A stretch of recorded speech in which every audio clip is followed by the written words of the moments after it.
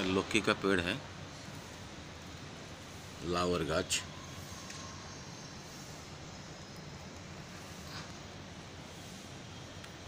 बहुत अच्छे healthy vegetable food है।